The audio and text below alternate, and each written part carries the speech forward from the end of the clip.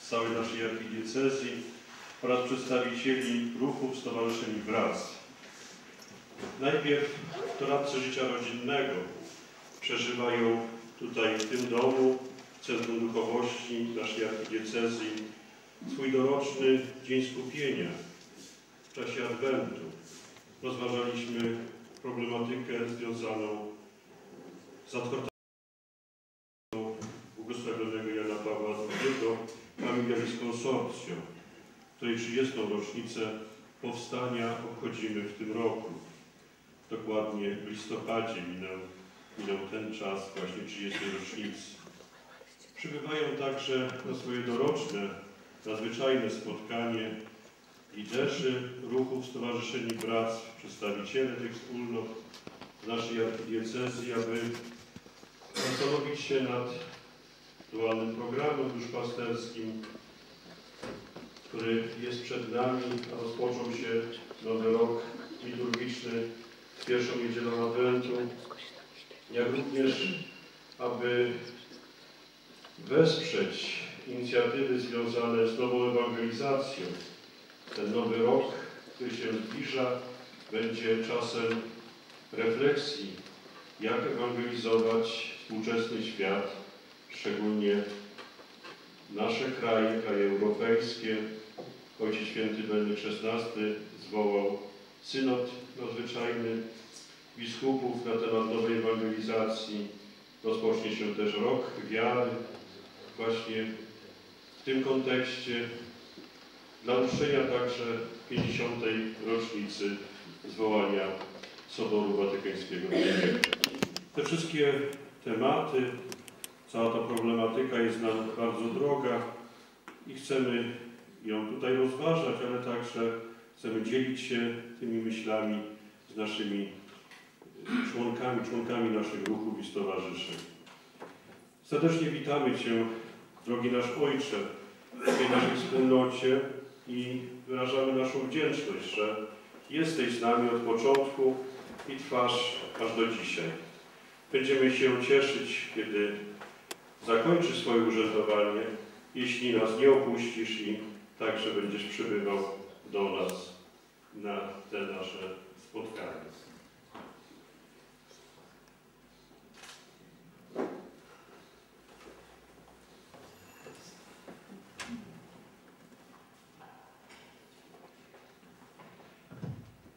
Ten czas dany nam jest właśnie jako czas łaski, czas naszego zbawienia. Jest już bardzo blisko czas Bożego Narodzenia, czas, który będziemy przeżywać w naszych rodzinach, w naszych wspólnotach.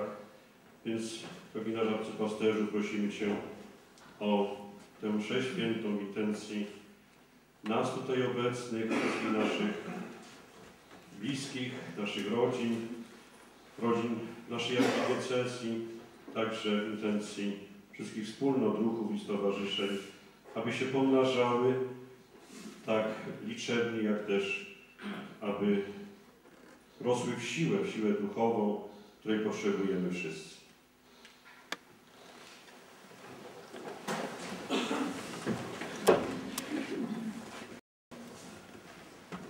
Imię Ojca i Syna i Ducha Świętego.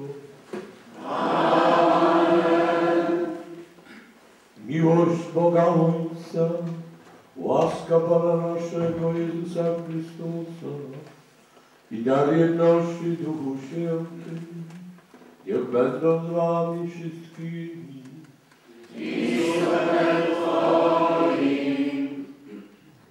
Bądźcie pozdrowieni wszyscy, tak jak zostaliście przedstawieni, powitani w tych wszystkich różnych grupach, izby różnorodne, różnie się nazywające, ale kochające to samo, cierpiące z powodu tego samego.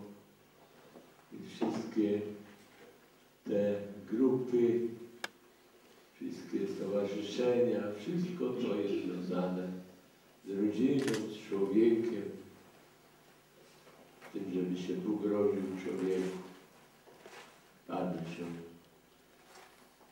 Módlmy o to, żeby człowiek był szanowany od początków swojego istnienia aż do końca. Bardzo się módlmy o to, żeby ludzie byli ludźmi, mieli te największe wartości, wysoko nie cenić sobie, gubić się w życiu. Abyśmy mogli oczekiwać na przyjście dzieciątka, na święta rodzinne, to wśród już Bogu tą przenajświętszą ofiarę eucharystyczną i skróćmy się przed Bogiem, przepraszając Go za swoje grzechy, swoje niegodności i za grzechy innych, grzechy całego świata. Przepraszajmy za grzechy przeciwko rodzinie, przeciwko dziecku, przeciwko człowiekowi. Spowiadam się.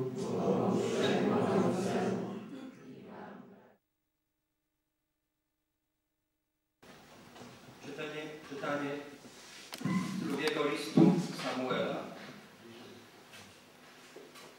Gdy król Dawid zamieszkał w swoim domu, a Pan poskromił koło wszystkich jego wrogów, rzekł król do proroka Natana. Spójrz, ja mieszkam w pałacu cedrowym, a Arka Boża mieszka w namiocie. Natan powiedział do króla, uczyń wszystko, co zamierzasz w sercu, gdyż Pan jest z Tobą. Lecz tej samej nocy skierował Pan do Natana następujące słowa. Idź i powiedz mojemu słudze, Dawidowi. To mówi Pan. Czy Ty zbudujesz mi dom na mieszkanie? Zabrałem Cię z pastwiska spośród owiec, gdyś był władcą nad ludem moim, nad Izraelem. I byłem z Tobą wszędzie, dokąd się udałeś. Wytraciłem przed Tobą wszystkich Twoich nieprzyjaciół. Dam Ci sławę największych ludzi na ziemi. Wyznaczę miejsce mojemu ludowi Izraelowi i osadzę go tam i będzie mieszkał na Twoim miejscu, a nie poruszy się więcej, a ludzie nikczemni nie będą go już uciskać jak dawniej. Od czasu, kiedy ustanowiłem sędziów nad ludem moim izraelskim, obdarzyłem Cię pokojem ze wszystkimi wrogami. Tobie też Pan zapowiedział, że Ci zbuduje dom. Kiedy wypełnią się Twoje dni i spoczniesz obok swych przodków, wtedy wzbudzę po Tobie potomka Twojego, który wyjdzie z Twoich wnętrzności i utwierdzę Jego królestwo. Ja będę mu ojcem, a on będzie mi synem. Przede mną dom Twój i Twoje królestwo będzie trwać na wieki. Oto Słowo Boże. Bogu niech będą dzięki.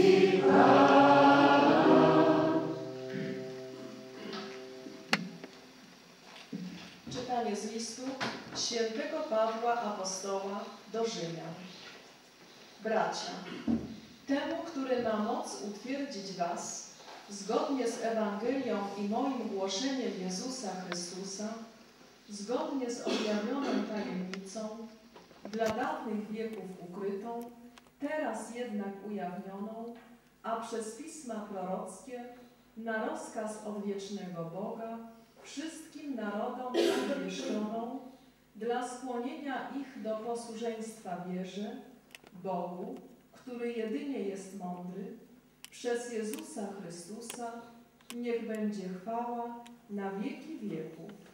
Amen. Oto Słowo Boże. Bogu niech będą dzięki.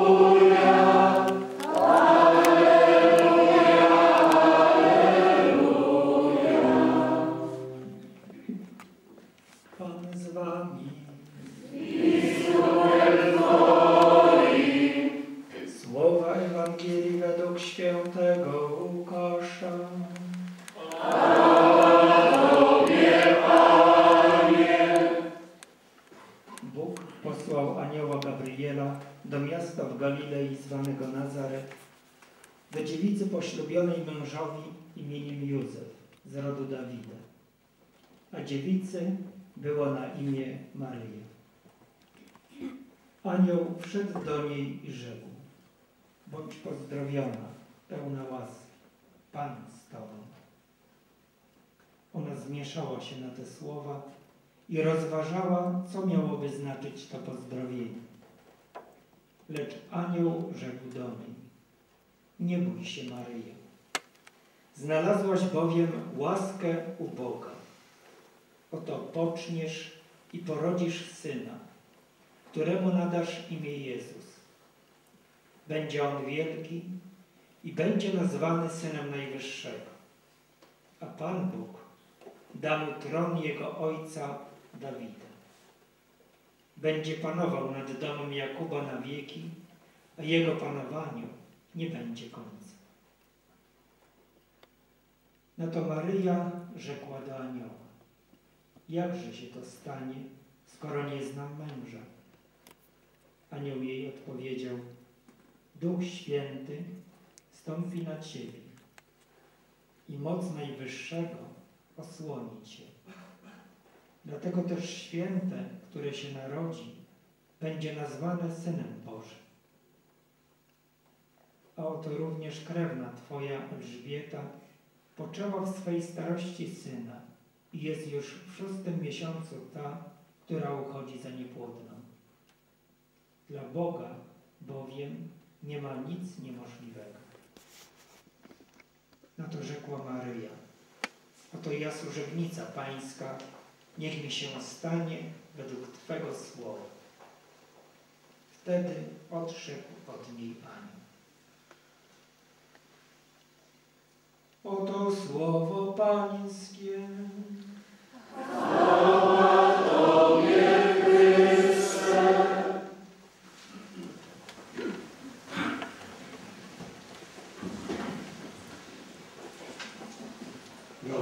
duszpasterze, rodzin, panowie, którzy duchu rodzinnych, panowie rodziny. Oto jesteśmy w takim szczególnym momencie naszej liturgii w obliczu świąt Bożego Narodzenia, świąt najbardziej rodzinnych. Już się przyjęło nawet tak w języku popularnym mówić, że święta Bożego Narodzenia to święta rodzinne, chociaż nie ma świąt nierodzinnych, wszystkie są rodzinne. Wszystkie dla dobra rodziny i każda tajemnica przypomina nam miłość Boga do człowieka i do rodziny. Ale niech będzie święta rodzinne, bo rzeczywiście najbardziej widać i w okresie Bożego Narodzenia tą, jak mówią nieraz, małą trójcę. Święty Józef, Maryja, Józef, Jezus. Na te święta najbardziej nam przypominają życie rodzinne, życie małżeńskie, wszystkie, można powiedzieć, teksty liturgii tych świąt, których jest dość dużo, jakoś nawiązują do, do tego, co się wydarzyło w Betlejem. Ale chociaż y, te święta Bożego Narodzenia są takie wielkie i tak nam drogie, to to, co przeżywamy dokładnie dzisiaj i w tych dniach, które towarzyszą czwartej niedzieli Adwentu, tych y, siedmiu dniach wołania o przyjście Boga, wielkich antyfon. To są rzeczywiście dni, które szczególnie jakby nas rzucają na kolana przed Bogiem, który z miłością, tą miłością objawiającą się wobec człowieka, wobec małżeństwa, wobec rodziny. Przeżywamy wcielenie Boga. Trzy wielkie tajemnice. Jakoś brane jedna z drugą. Tajemnica Trójcy Świętej. Tak umiłował świat, że Syna swojego jednorodzonego dał, żeby człowiek nie zginął, tak Bóg umiłował świat, że Syn Boży, trzeba dalej dotłumaczyć, przyjął powołanie Ojca i przyszedł na ten świat, by stać się człowiekiem, by za nas umrzeć. Tak Bóg miłował świat, że ta miłość rozlewa się w naszych sercach przez Ducha Świętego, który został nam dany, ta miłość, która jest między Ojcem i Synem. Więc przypomina się nam wielka tajemnica, pierwsza, Trójcy Świętej. Druga tajemnica to jest właśnie to wcielenie, samo wcielenie Boga. Tajemnica, która nas przerasta, tak? Wielka misterium idei. Że Bóg był prawdziwym Bogiem i prawdziwym człowiekiem,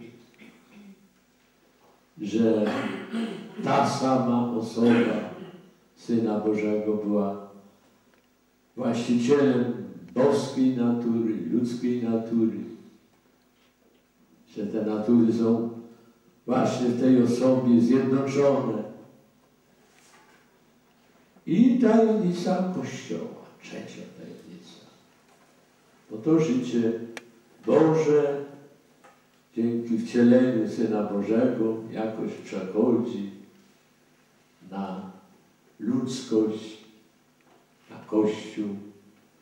Kościół jest nazywany niekiedy trzecią wielką tajemnicą. Duch Święty to życie Boże przenosi na, na człowieka również. Człowiek jest powołany do uczestniczenia w życiu Bożym jako Bożym, w życiu Trójcy Świętej. Przeżywamy więc dzisiaj tę wielką, wielką tajemnicę, tajemnicę wcielenia Syna Bożego. Wszystko się zaczęło wtedy, kiedy Maryja w domku nazaretańskim odpowiedziała Bogu swoje tak, wyraziła swoją zgodę właśnie na wcielenie Syna Bożego.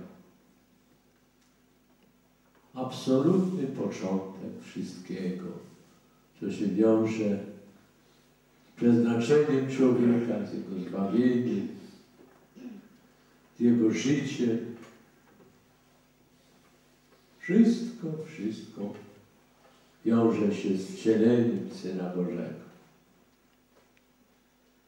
Dzisiejsza Ewangelia, która oczywiście jest często powtarzana w świętach maryjnych, jest Ewangelią roku kościelnego, jest Ewangelią, która wchodzi w cykl świąt, największych świąt. Trzeba byśmy się pochylili nad tą tajemnicą. Trzeba byśmy z tej tajemnicy czerpali siły do naszego życia. Można by porównać to, co się wydarzyło w Nazarecie, gdy anioł przyszedł do Maryi, by zwiastować, że będzie matką Syna Bożego, do takiego obrazu z życia. Ktoś mi opowiadał coś tak prostego. Jechał pociąg, ludzie w wagonie, przeważnie dorośli, każdy zatrapiony, zamyślony. Atmosfera dosyć ciężka, zadrzemana, trochę taka smutna. Ludzie się nie kontaktowali między sobą. I akurat było miejsce wolne.